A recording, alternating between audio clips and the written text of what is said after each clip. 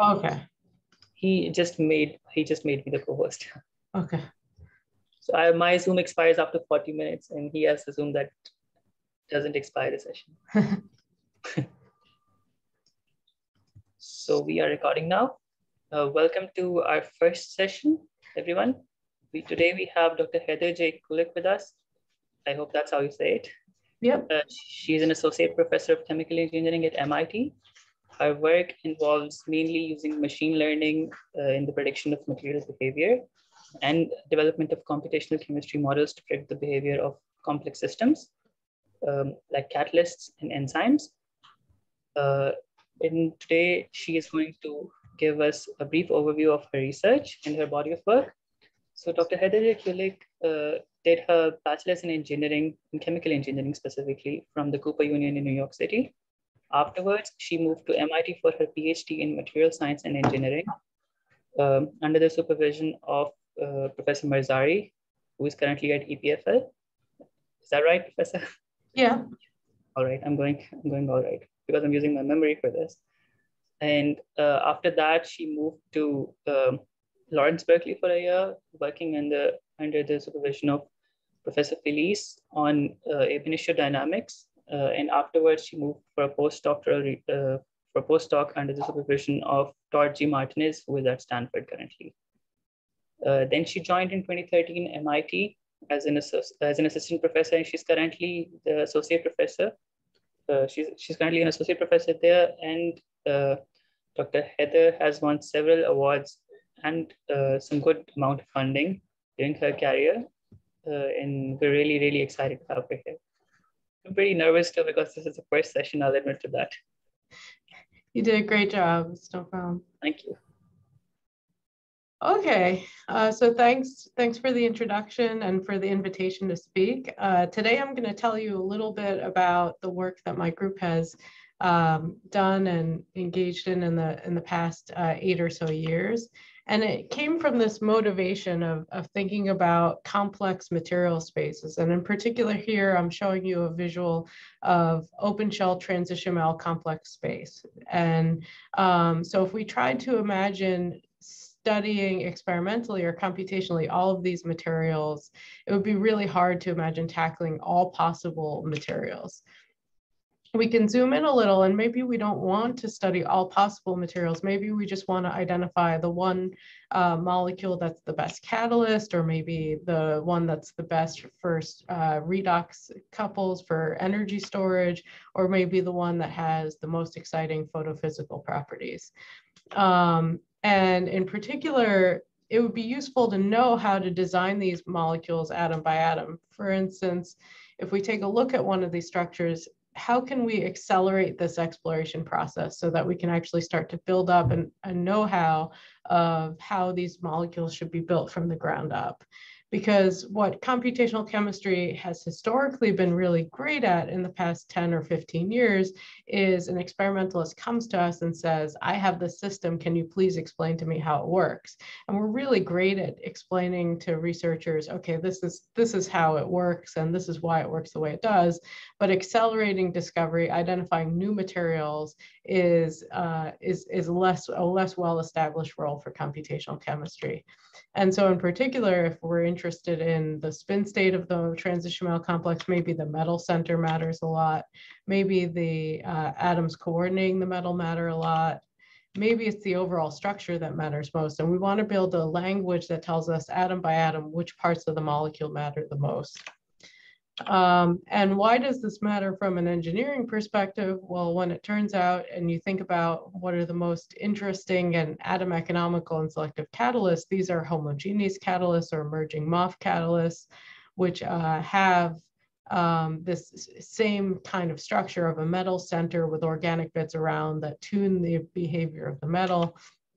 Same goes for things like energy storage and gas separation. So this, this motif of being able to design a metal center and its coordinating environment to tune the properties um, is, is a very rich and, and fertile ground to think about being able to design materials. So this idea of building molecules atom by atom is not new and having a language to describe how molecules behave is not new. A lot of this was well established 20, 30 years ago in the organic chemistry community. There are lots of tools like SMILES strings uh, that can tell us how to compactly store a whole chemical structure in a simple uh, string of letters.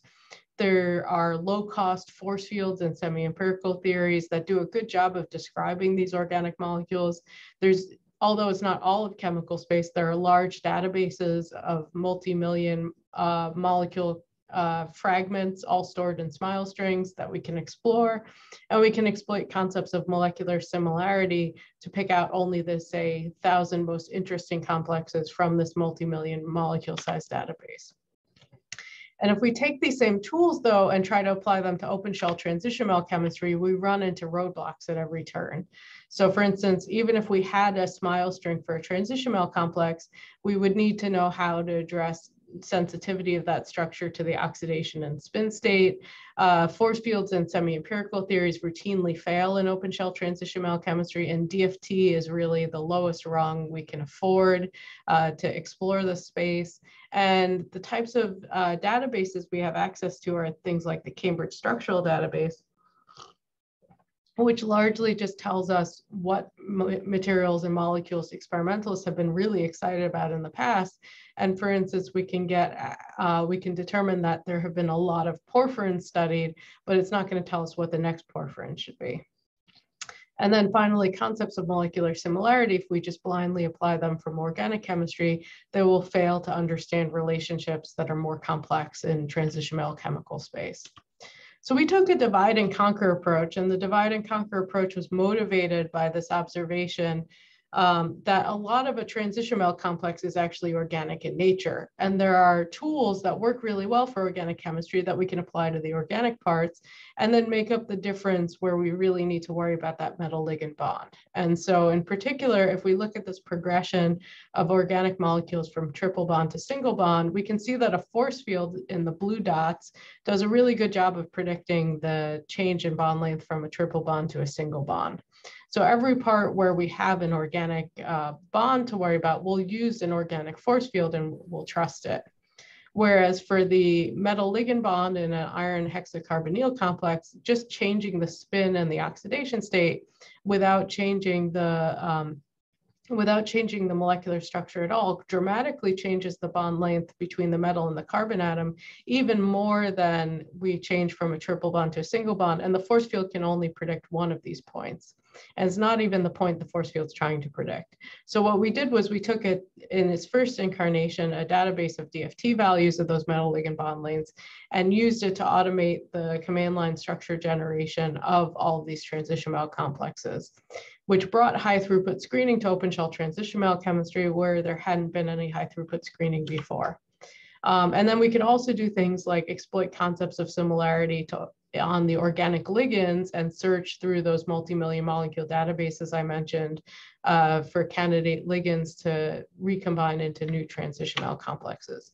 Now, everything I described is in our open source code MolSimplify. There's a light version on the web interface that you can play around with, um, as well as on Conda and GitHub, and we're happy to answer any questions you may have. Um, so I'm not going to talk too much more about MolSimplify and its features, but just keep in mind that it's the glue that holds together everything that uh, that I'll talk about today. And so what this tool allowed us to do is it allowed us to go out and explore what I like to call chemical space neighborhoods. We didn't necessarily get to the vast chemical space universe I showed you on my first slide, um, but where I would have been satisfied in my PhD with running five calculations and then identifying a trend, my own students and postdocs could routinely study 200 to 500 catalysts with high throughput screening with density functional theory. And what we consistently found was across both functional materials and catalysis, we consistently found ways to break prior expectations and heuristics people had developed just by simply searching a slightly larger chemical space than would normally be searched in typical screening studies. And so I'm going to focus in on the one in the top right corner here, uh, which is related to catalysis for methane to methanol. Um, and so biological systems can carry out uh, conversion of of methane to methanol. And they do so typically by uh, first forming a high valent iron 4 oxo intermediate um, through some type of oxidant. Um, and then that iron 4 oxo can abstract a hydrogen from, from methane in a step we call hydrogen atom transfer. Then there's usually a barrierless rebound step to form methanol, which then needs to be released. And I'm simplifying this process a little. There could be other intermediates in play, but what we would usually say as chemists is that favoring the oxo formation step makes a really stable iron 4 oxo that then doesn't want to react and doesn't want to carry out the hydrogen atom transfer step chemical engineers have have made a mathematical framework for this uh, that is widely used, and these are called scaling relations, which tell us simply that there's a linear relationship that the higher energy the oxo formation is, the lower energy the hydrogen atom transfer is. And why this is useful is because we can actually put into a kinetic model all of the different um, relationships between all the steps and we can come up with a prediction of the turnover frequency. And in this volcano plot, as it's called, we can write down one single descriptor on the x-axis that tells us how active our catalyst is going to be. And so what we want are the catalysts sitting at the top of this volcano plot. But if those uh, catalysts are, for instance, the, the um, the most precious metals or they're really hard to synthesize, then that's bad news, right? So it simplifies our screening rather than uh, studying many different catalyst reaction energetics and transition states, we can just screen for one descriptor, but this also tells us there's limited flexibility in the possibilities of how we can populate the top of this volcano plot. So while this is well established in heterogeneous catalysis, especially with bulk metals, we were interested to know if this still applied to the same degree in molecular catalysis. So we created 540 model catalysts, and we did this by taking a metal center, iron 2 high spin, and we stretched and compressed the metal ligand bond. We also distorted the metal in and out of the plane. Um, we changed the atoms that coordinate the metal and we changed the termination. And these were then later compared in this paper to what experimental uh, catalysts actually look like, but here we were just creating model environments. Um, and I mentioned that we were able, by doing these screens, to explore, uh, to, to you know, go against intuition and break heuristics. And so in, in this case, my intuition told me that the most important thing we could do to really disrupt these scaling relations would be to stretch and compress the bond, because there are relationships in heterogeneous catalysis about uh, lattice strain and how lattice strain alters uh, properties of catalysts. And so I thought that's the main thing a big bulky catalyst is doing is stretch stretching and compressing the bond. And so the spoiler alert is, of course, I was wrong.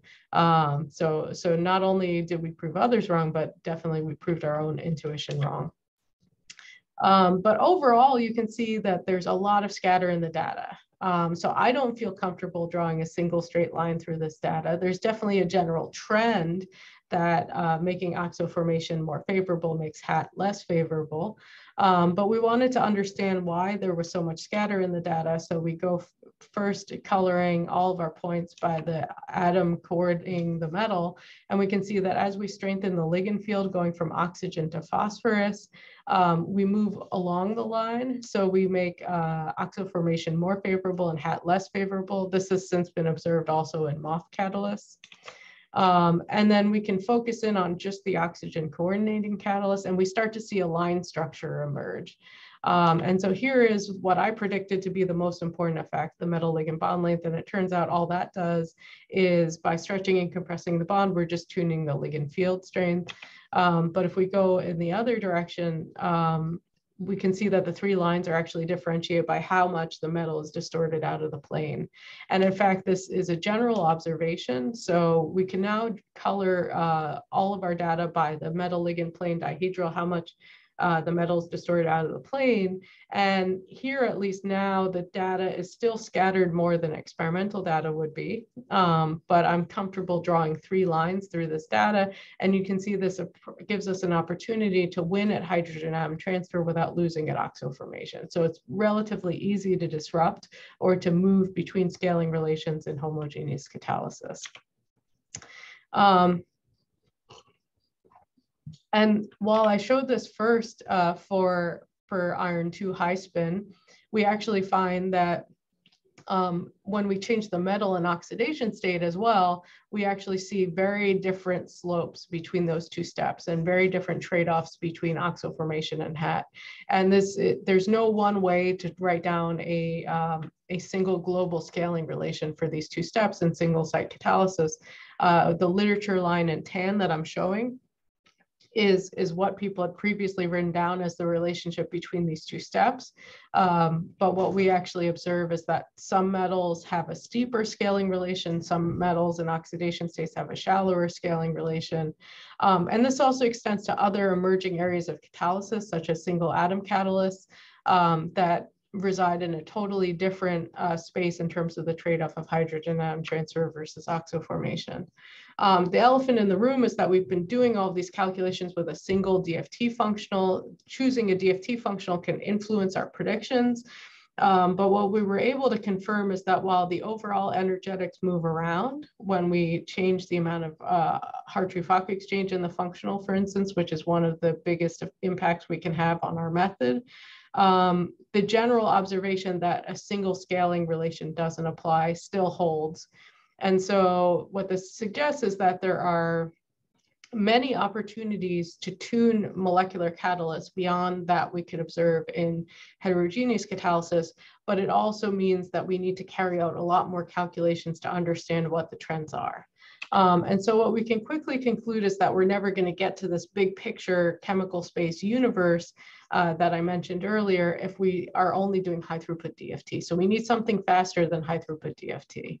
Um, transition metal complex space is vast in part because we're all of the different knobs that we have to tune that I've been talking about. For instance, changing the spin on the metal center, uh, choosing a different metal. Each metal has a number of accessible oxidation states. Um, and so we could conclude we might like to um, build a machine learning model to accelerate the search through new materials. Um, but what I can tell you is that since our goal is to discover new materials that our models haven't seen before, and we want to do this in transition metal chemical space, um, we have distinct choices that we need to to choose in terms of thinking about how much data are we going to generate, what type of model complexity do we want to have, and, and how do we want to represent our chemical problem to our model. These are really three trade-offs you always have to think about when building a machine learning model, but our particular choices are, are distinct um, because of our goal of discovering new materials. Um, and so this first started as a, as a homework project for Jon Paul Janet when he was a first year grad student. Um, and he came to me and he said, I have a machine learning homework problem. What would you like me to be able to predict? And so I said, um, let's predict the quantum mechanical ground state spin of each molecule since we know that vastly Im impacts the properties. And I'd like to know the spin splitting, the energy difference between the ground state and the next uh, excited state. Um, and then because we're going to be using DFT training data, um, I'd like to know how sensitive that prediction is to the exchange correlation functional. And then I'd also like uh, us to not use any geometric information. I'd like us to predict the metal ligand bond length because I mentioned that we have MolSimplify already and MolSimplify uh, uses a DFT lookup table to predict the metal ligand bond length. And then the spoiler alert is that despite the fact that I gave this very tall wish list of properties to Jon Paul, um, it worked. And then once it worked, we readily extended it to other properties such as redox potentials, uh, band gaps, uh, reaction energies, and so on. And so we used a modest data set of octahedral transition metal complexes with common ligands, metals in multiple spin and oxidation states, and we addressed the DFT sensitivity question with uh, varying the Hartree-Fock exchange fraction in its first incarnation. I'll show you some extensions beyond that in a couple of slides. And the main thing to note is that we worked with very diverse molecules in a relatively modest data set size. In comparison to the machine learning data sets many people work with, with organic molecules, we are working with much bigger molecules. And as a result, the number of points we have are, is much smaller. So where we really focused our attention was thinking about how are we going to optimally represent our transition metal complexes to a machine learning model. So in the in the top plot, um, what I'm showing is is how people typically were representing um, molecules to machine learning models when we first got into this. They would give the very intuitive thing of thinking about where all the atoms are and what their chemical identities are. But there are a lot of heuristics in transition metal chemistry that largely throw most of that information away, instead focus only on what's coordinating the metal directly. So we had an idea that something balancing between these two limits is probably the right thing to do in order to uh, in order to optimally represent our transition metal complex uh, to, to a machine learning model, really emphasize what's going on near the metal. Um, so we did this two ways, and I'm showing both ways because both worked. Um, one is we sat down and we picked out uh, properties very local to the metal, such as the metal and the coordinating atom identity and the electronegativity of atoms near the metal, um, and we picked those out one by one based on my intuition or based on a guess um, in an ad hoc fashion. And if those properties correlated at all to our data, we kept them using something known as lasso.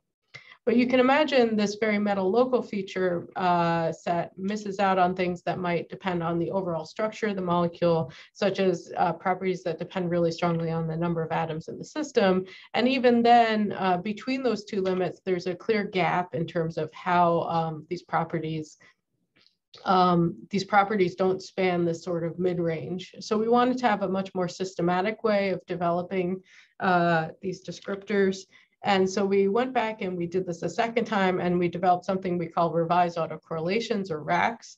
Uh, these are extensions of Moreau-Broto autocorrelations. They're products and differences on the molecular graph of heuristic properties, and we either zoom in and focus on the metal or zoom in and focus on the, the ligand um, and expand these, uh, these properties outward.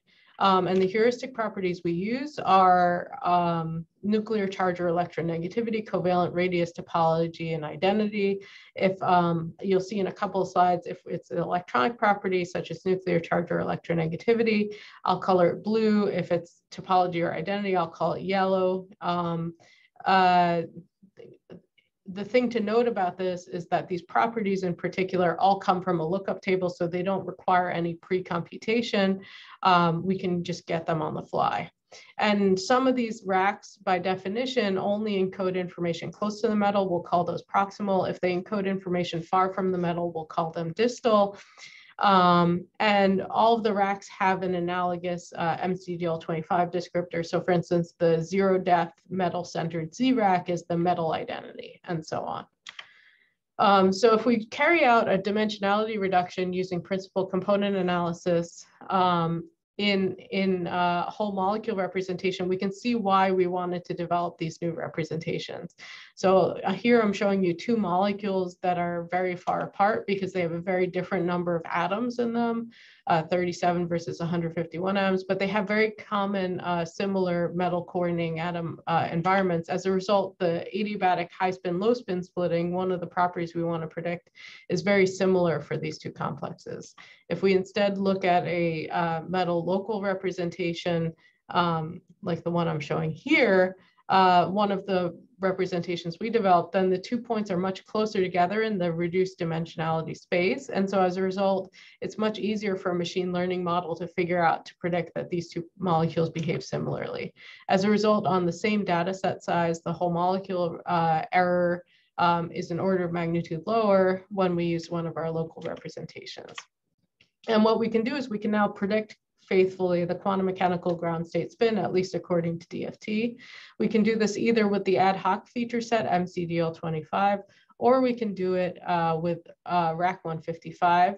Now, RAC 155 by definition includes lots of non-local information just based on how the expansions work out.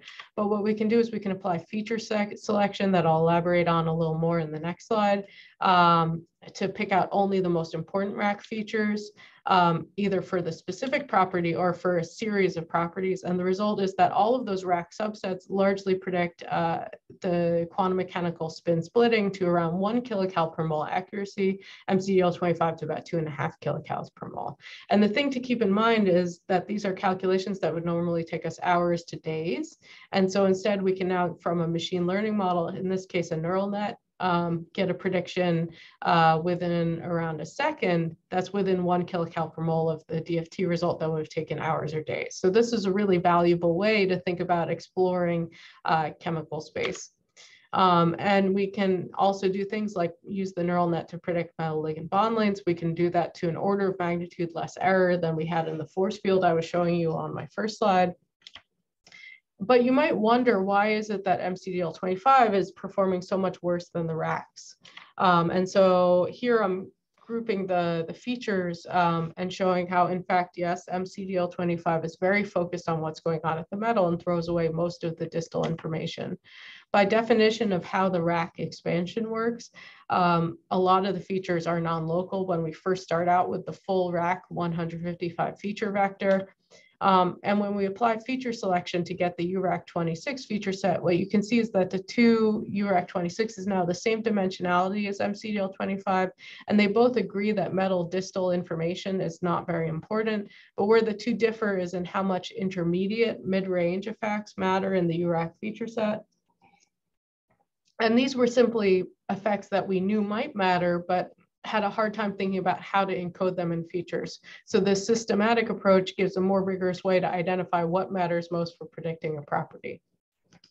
And just predicting properties faster is not necessarily very exciting in itself. We want to be able to do what I mentioned at the start of my talk, which is design new materials atom by atom. Um, and so here what I'm showing is an abstraction on a porphyrin of the most essential features to predict a property, which we uh, choose by carrying out random forest pre-ranked recursive feature addition into a kernel ridge regression model.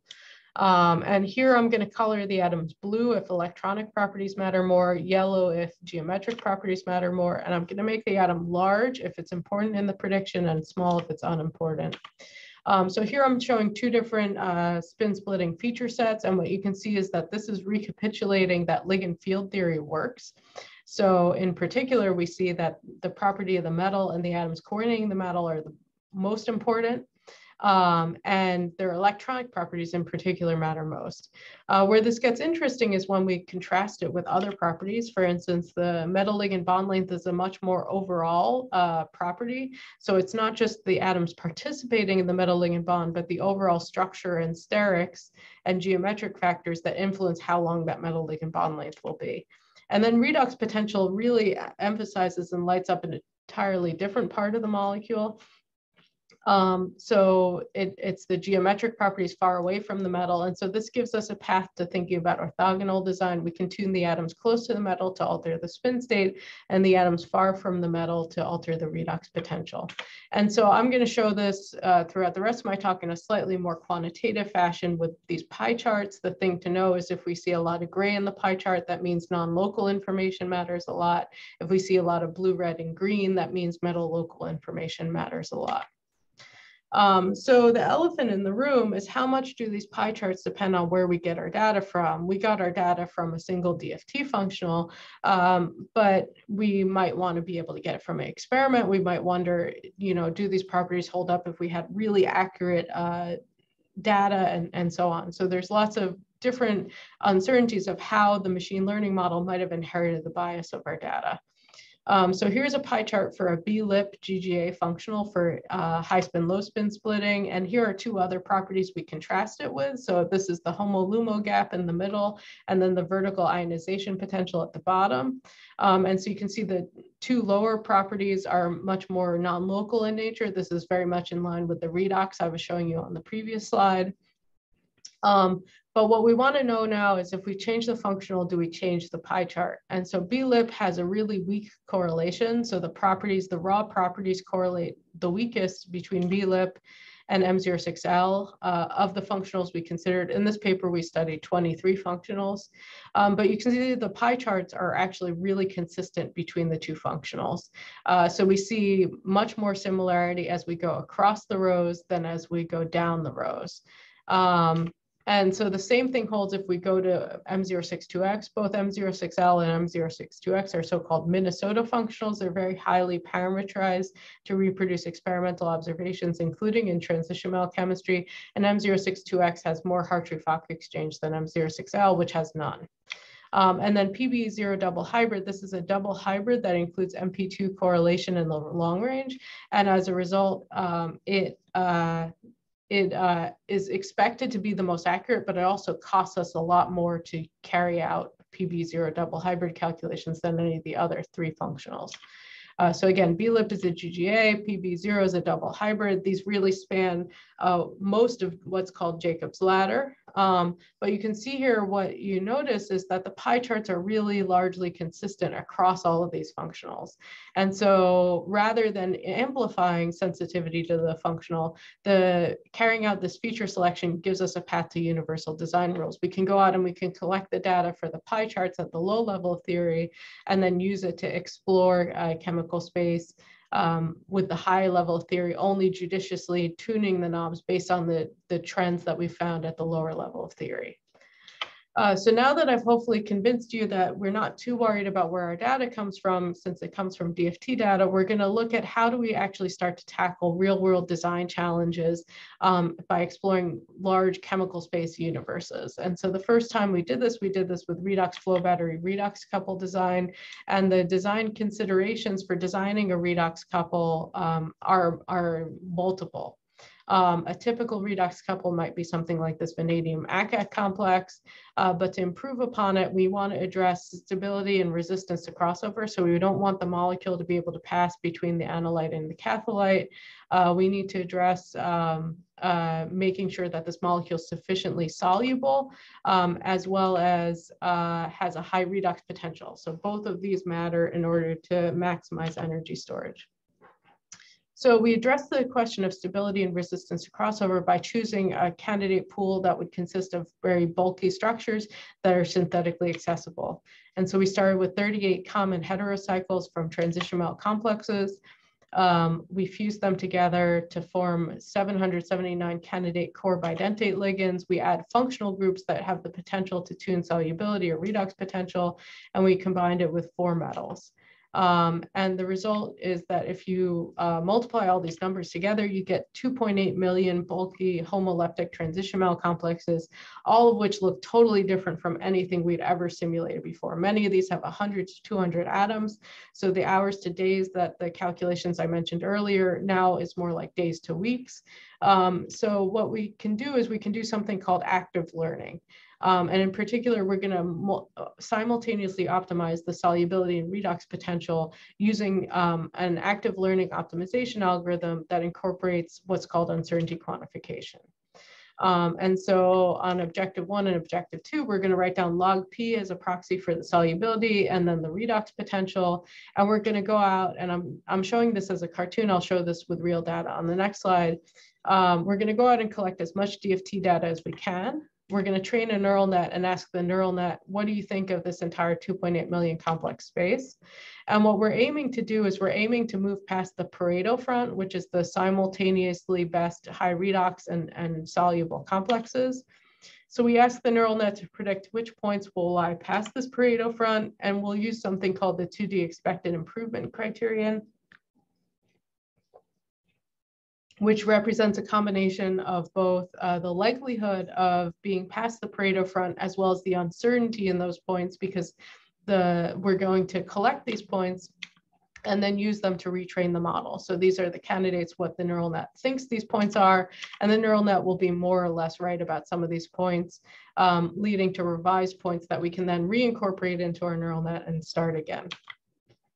Um, so this is what it looks like running full throttle on 64 GPUs after two weeks. This is how much data we have um, in, uh, which is, is not very much at all, um, but this is how much we had running from 64 GPUs on my cluster. Um, and then after about three minutes with the neural net, this is what we, we could see. Um, and so um, here is our Pareto front on both, both graphs. And so um, you can see the neural net with the expected improvement score is lighting up in one or two regions where it expects the greatest promise of going past the Pareto front, as well as um, uh, the most uncertainty of the model. Um, so we pick out points from that uncertain region and we carry out another week of DFT calculations. And you can see uh, the neural net wasn't that smart about the points at the Pareto front. Only some of them moved the Pareto front forward, but we go back to the neural net again, we retrain it. And after another three minutes with the neural net, we have a new region that is expected to improve upon the Pareto front. And this time you can see uh, we do a lot better. After another week with DFT, we've pushed the Pareto front a lot for, further. Um, so we go back to the neural net and you can see that the expected improvement scores are lowering. The, the neural net's getting more and more pessimistic that it can move past the Pareto front.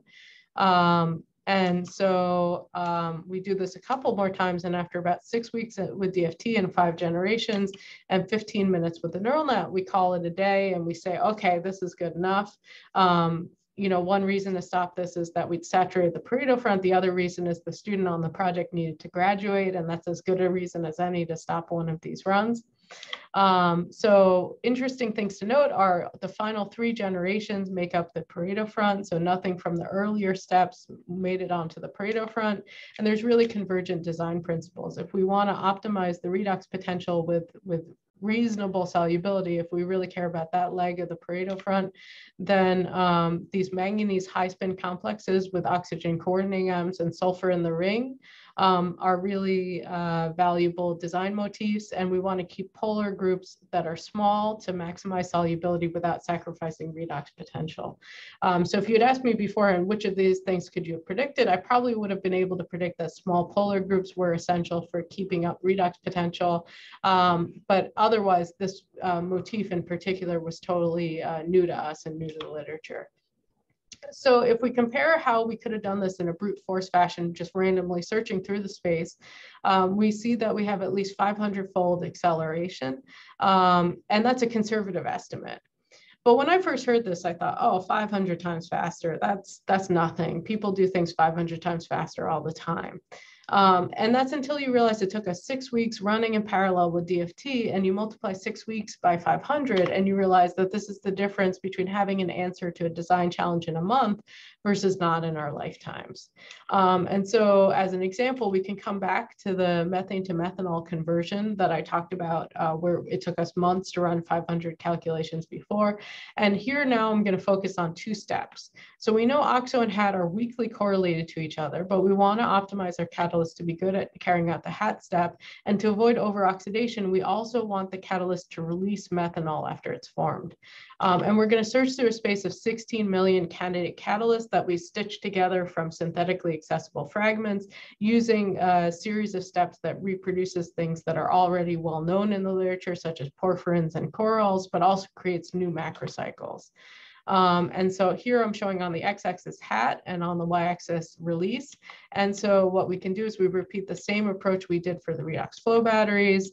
And we can see that we can move forward the Pareto front, identifying new catalysts that have favorable release uh, without having unfavorable hydrogen atom transfer. And the result is that um, that we identify some new motifs, which include that having an anionic axial ligand is really helpful for facilitating uh, methanol release, and that uh, atoms that are not typically used in the coordinating environment of the metal in most common um, methane to methanol catalysts, such as phosphorus or sulfur, actually can lead to good catalyst reaction energetics.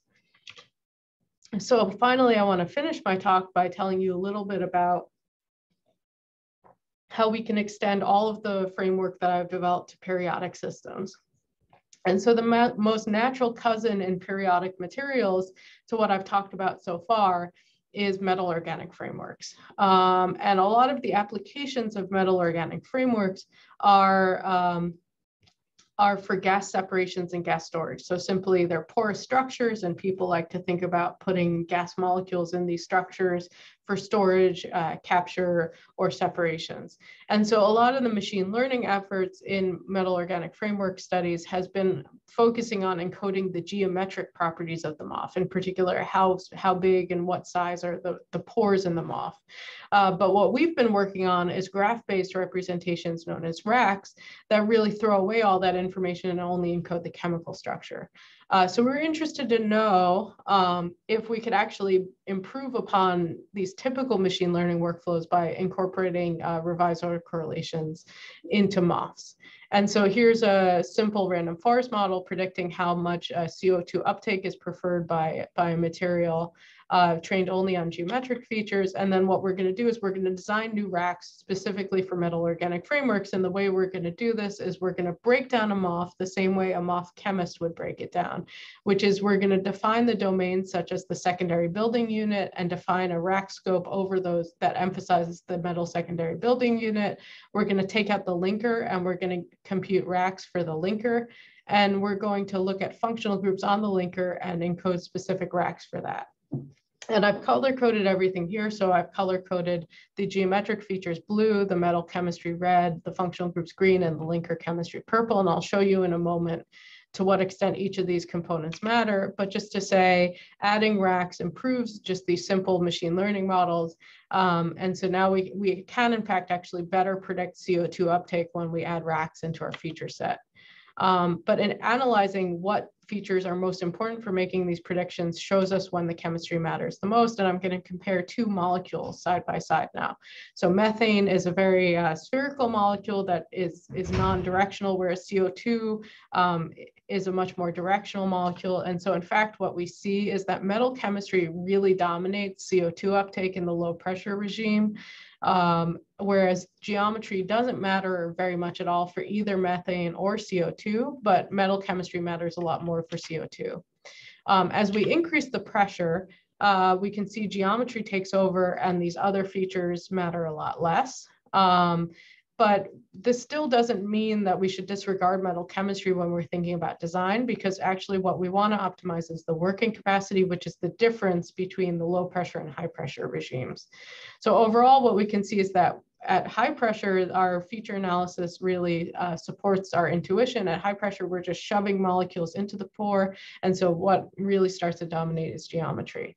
So these pictures are, are all nice and good, but uh, if we compare how these different pie charts show up for say CO2 uptake at low pressure, um, if we apply this on the core MOF data set, uh, which is a set of experimentally previously synthesized MOFs. If we compare it instead to hypothetical sets, which are these large sets of 100,000 MOFs that people hypothetically enumerate, you can see that conclusions are really strongly sensitive to where we get that data from.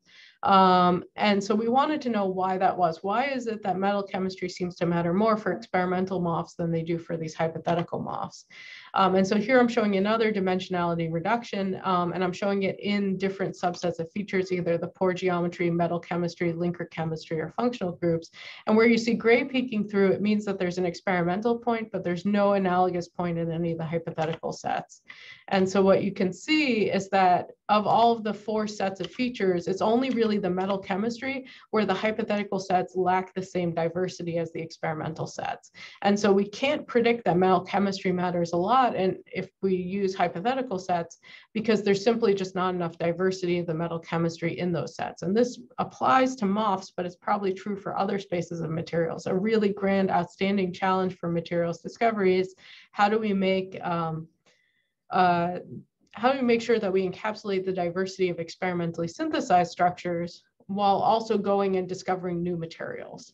Um, and so what we wanted to do was first go back to this experimental set of MOFs that have all been synthesized because they've been synthesized, they've been characterized, there are structures that we can work with, and there are papers that were written about all of these different MOFs.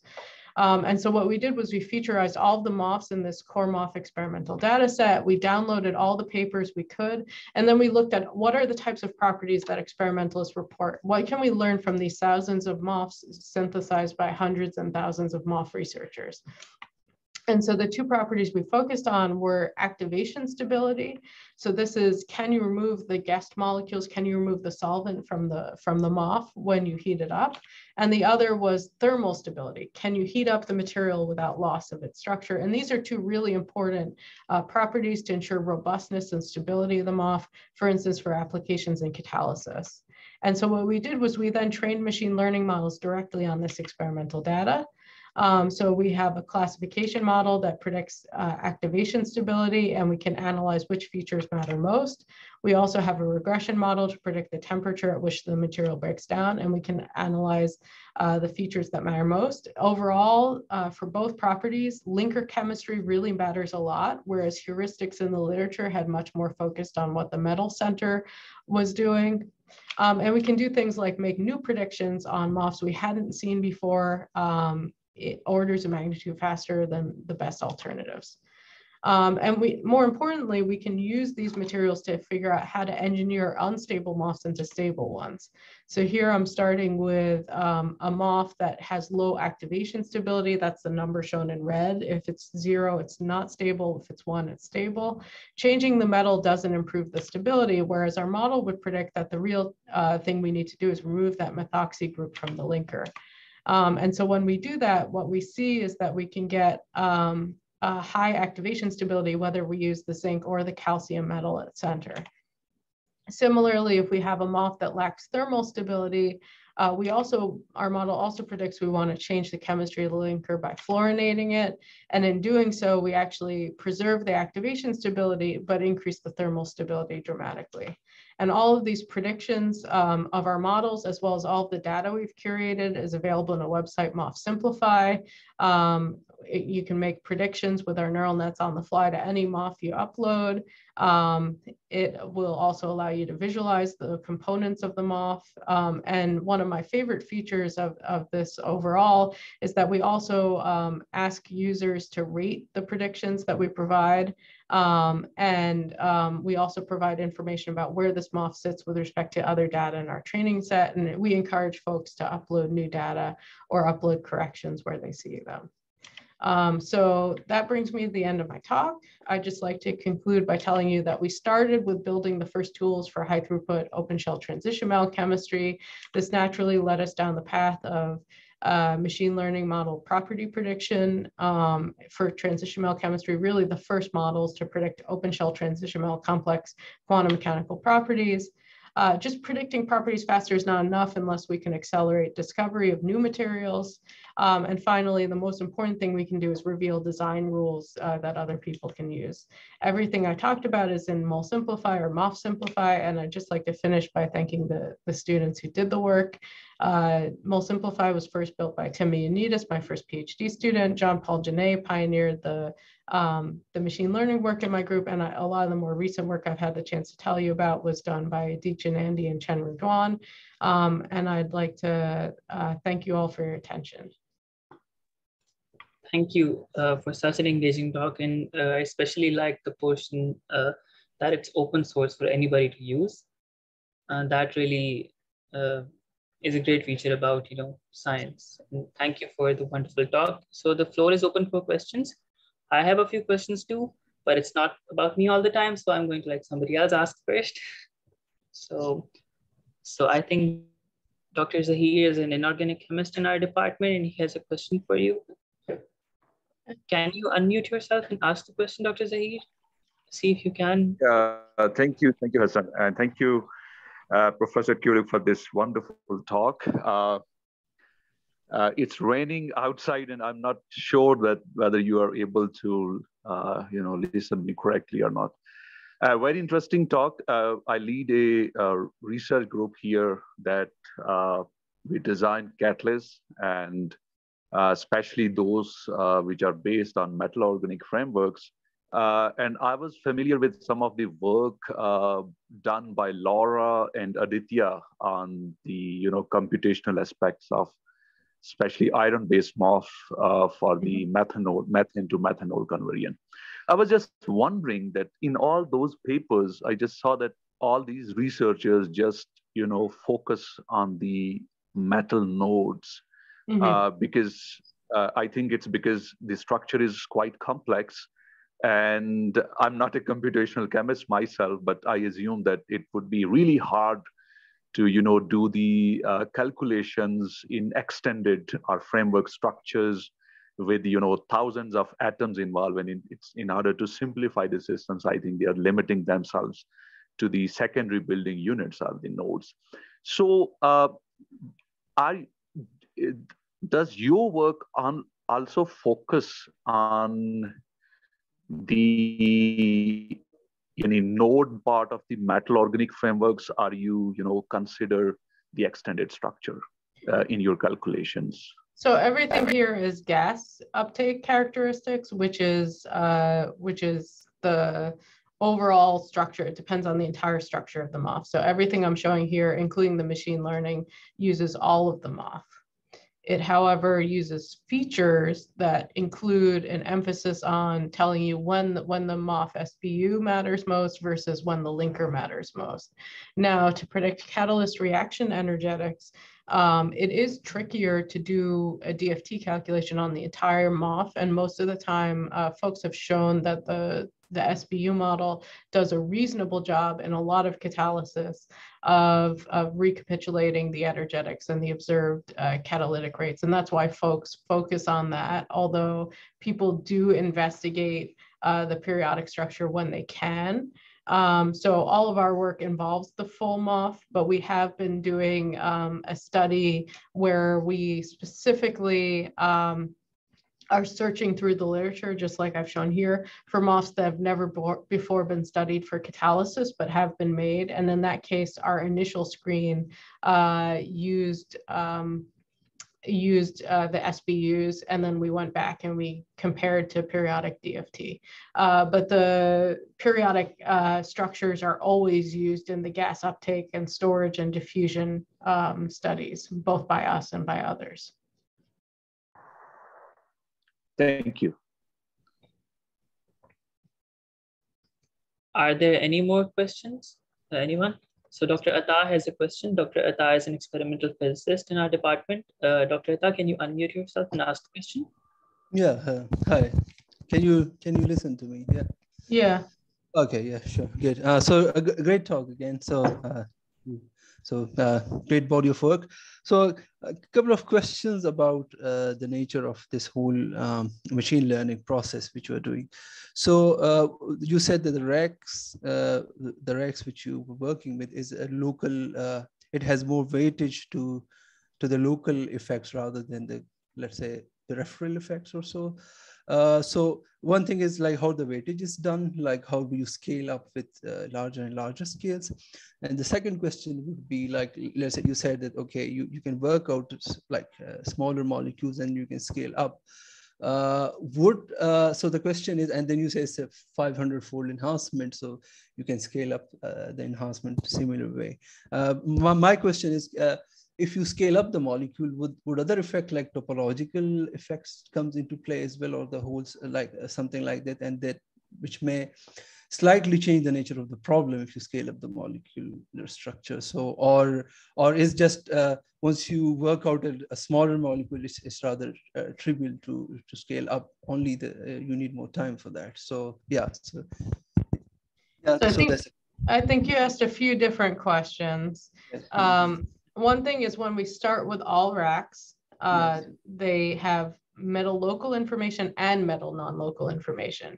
When we apply feature selection uh, mm-hmm. in kernel ridge regression models, uh, those tend to lead to us throwing away metal non-local information, especially for properties like spin or mm-hmm. magnetic moment if you're more used to thinking from a physics perspective. The um, uh, when we do this in practice, for instance, you were asking a little bit about this system. Um, when we do this in practice, uh, we use a neural net and we let the neural net do the feature engineering. So what that means is if we have a property and a data set where only metal um, local information matters, then uh, the neural net's going to learn that relationship and going to throw away information far away from the metal. Um, this uh, this could be a problem if suddenly we encounter one point where its properties really strongly depend on metal non-local information and it was never in the metal. But in this active learning approach, if we encounter those points, then the mm-hmm. model gets retrained and the model emphasis to be local or non-local can shift. So that's the advantage of this approach. Um, and I think the other thing you asked about was scale up is the 500 fold. It depends on the number of properties that we're optimizing. So if we optimize more properties, the acceleration would actually increase. It, it's approximately um, you know, be up to a thousand or, or something like that. Um, in terms of studying larger molecules, that's not something uh, we've done because when we're at a point where we're studying 200 atoms, we're already at like the scale of the largest molecules in the CSD generally. But if we wanted to go to coordination materials or solid state materials, we'd probably adapt more from this MOF-based approach we had used. Okay, I, great. Huh. I hope that so, answers your questions. Oh yeah, that's uh, to a great extent. So, so just one thing. So, what's the input for how the how the uh, how the machine learning algorithms learns that whether the local is more important or global? Is it experimental input which it compares with, or is it uh, something else we rely on? So, so for instance, here, here, this is, uh, this data is all experimental. Mm -hmm. Sorry, this data is all experimental. This data is all DFT data. Um, but what we showed in this paper was that changing the DFT functional doesn't change the answer. And I've cut it from this talk. Uh, yeah. But uh, here we also show that uh, using the consensus of the different DFT functionals recapitulates experimental data as well. Okay. Um, so, but so, I didn't have a chance to talk about that. Okay, okay. So, so this, uh, so the coming to this insensitivity, so or less sensitivity of the results to the mm. DF, DFT functional would choose. Wouldn't it be a, like a two-edged swords in the sense, like I mean, if it's insensitive, it might be hard to to reverse engineer the problem, uh, or so what we were able to show was that regions that uh, DFT functionals agree, it's not guaranteed, but regions where the DFT functionals agree are actually the regions where DFT is doing a better job of predicting experiment. And we've more recently uh, looked at some um, We've more recently looked at this closely and we've identified that a good indicator of sensitivity to higher uh, to level of theory comes from uh, DFT functionals disagreeing. It's actually a, a, pretty good indicator. And so we've since looked at uh, graduating to higher and higher levels of theory, including coupled cluster, and being uh-huh. able to recommend, for instance, which DFT functional is going to be the most accurate. I cut all of that from, there's, there's okay, not a okay, yeah. Yeah, yeah. Okay, great, great. Yeah. Okay. Uh. So one last question is from my side. So, uh, so you you said that this metal uh, uh organic, so the bond length, uh, the stretching of the bond length might like this. This is what you play with uh, mainly. So the question is like, what about other um, other effect like chiral effect of these catalytic crystals, which which might comes into play and might have a role here. So are they taken into account in these calculations? Yeah, and uh, so I think you're referring back to this. These these are all uh, identical. There's there's no chirality in these catalysts. These are all identical metal uh, coordinating atoms, and so there's no chiral center.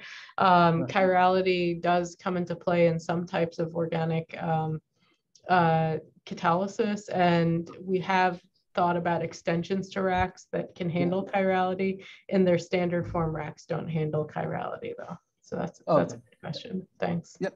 Yeah. Great. Yeah. Thank you. Thank you again. Yeah. Uh, do we have any more questions? Anyone? If not, I will ask questions. All right. Uh, so hello. Yeah. Yeah. Can I ask a question? Yes. Yes. Sure. Yeah. Hello, Prof. Thank you. Very interesting talk.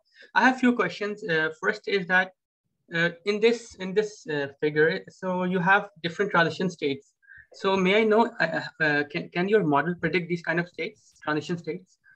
And also on slide 13, you show different functionals and uh, I couldn't see uh, a range separated functional and in which there's a, a, good amount of dispersion. So may I know the reason why you've not chosen uh, these kind of functions? Um, so in, okay, so I'll answer the second question first because that one's easy. So you can see we actually did 23 functionals for the sake of, um, for the sake of fitting time, fitting, fitting the talk in the time. Um, I cut most of that discussion. We picked four functionals that disagree the most from the set, but you can see we have double hybrids with uh, dispersion. We have range separated hybrids. Uh, including the omega B97X has dispersion in it. Uh, all of the structures are actually taken from one functional. So dispersion, empirical dispersion is not going to alter the final structure. Um, but you can see all of our and, and in the SI, all of our conclusions are general to this 23 set of functionals. Um, we pick on BLYP and M062X because they disagree the most among all of the functionals, uh, but this is generally what you see when you compare the functionals. Um, so that's that's the the second uh, the answer to the second question. Could you remind me again what the the first question was related to? Yeah, can can the model predict uh, transition states? Uh, how many oh. states are yeah, so um, so in in uh, in the work that we did, this is not with with the model, or I guess you're asking more about this. In this work, we exploit for hydrogen atom transfer. There's a really tight BEP relation between the reaction energy and the transition state, and so in principle, there's no reason to not predict the transition state, but in practice, we um, do our search on reaction energies and then go back and characterize the transition states. Um, we are thinking though about predicting transition states explicitly. They're just very time consuming. So to generate the training data is the hard part. Yeah, yeah, that, thank you. Thank you so much. All right. Uh, so I don't think we have any more questions. So I have a few questions, Dr. Heather Kulik. Mm -hmm. So the first part of my question is uh, a realistic question, and the second one is a lofty, lofty goal. So, uh, and if uh, the first question, uh, I was reading this article that you wrote with uh, Stephen Whitelam. Uh, it, it, was about electronic structure, as my memory serves me correctly, uh, in which you were mentioning this thing called quantum Monte Carlo dropout. So how relevant is that to networks and what kind of learning is the most efficient in training neural networks in these things? Um, so it's just Monte Carlo dropout, not quantum Monte Carlo dropout. And we've moved away from that quite a bit. I don't I don't have a backup slide handy on that. Um, the uncertainty quantification that we use um, is actually, and that probably answers your second question about the efficient training. The uncertainty quantification metric we use, I apologize, I don't have the reference here, um, is a distance in latent space. And we found that to be a much more uh, advantageous way to identify where the model doesn't know something. And so what the distance in latent space is, is you take any new point and you compute its distance in the latent space, which is the last layer of the model um, prior prior to prediction. And if those points are distant in latent space, then they um, they are points the model doesn't know anything about, and then you advantageously go and you acquire those new points and retrain the model. Um, I think the biggest outstanding question is how, to what extent should you let the uh, model architecture um, change between um, between each uh, retraining that that I think we don't know. I mean, because um, as you acquire more and more data, the the depth of the neural net will necessarily um, it'll be better to have a deeper neural net. So, um, but but the the work I'm showing here, um, yeah, I, I don't have a chance to I I don't have a handy slide for it. Everything I'm showing here uses uh, distance and latent space as the uncertainty quantification. We previously used in the very beginning Monte Carlo dropout, um, and we found it was overconfident in predicting the points the model was most uncertain about. I see, I see. Uh, so the lofty uh, goal part of the question uh, is what I'm going to ask now. Uh, so if uh, these learning methods that you have developed, if we couple them to, let's say the conditions that were on uh, that was described in Harold Urey experiment. I hope you know about that, in which um, so essentially it talks about the origin of chirality in nature.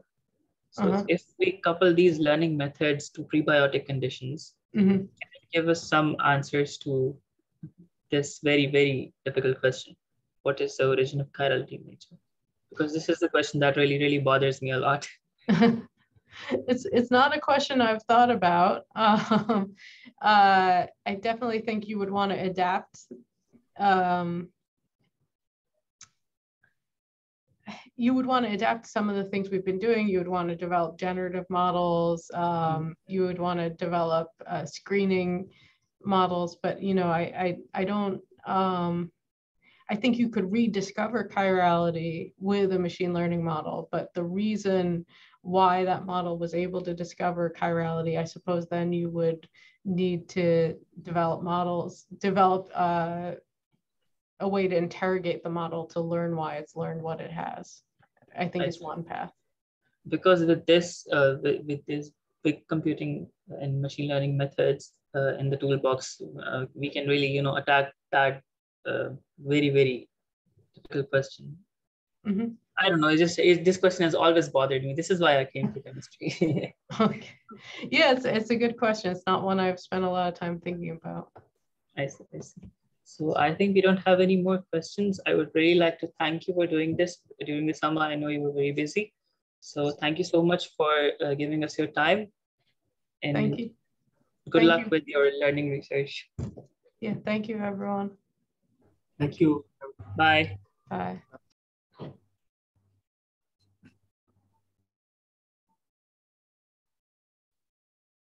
Uh, Dr. Philip, can you stop the recording?